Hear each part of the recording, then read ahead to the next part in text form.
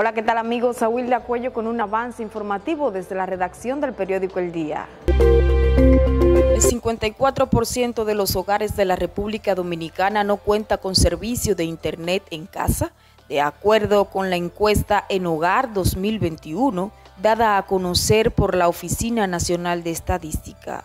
Los porcentajes de conectividad varían dependiendo del nivel socioeconómico de los usuarios. Un 8.9% en los hogares del grupo muy bajo tiene conexión en comparación con el 94.1% en los hogares del grupo muy alto.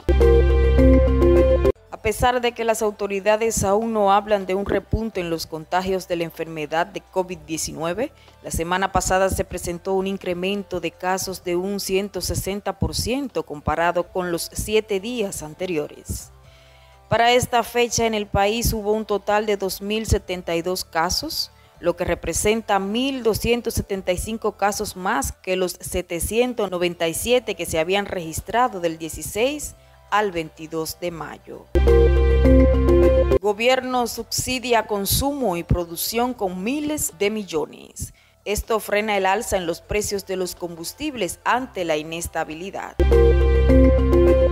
Amplíe estas y otras informaciones en nuestra página web y en nuestras redes sociales.